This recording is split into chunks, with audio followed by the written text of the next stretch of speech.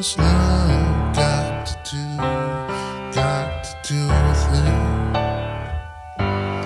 What's love but a second-hand emotion? What's love got to do? Got to do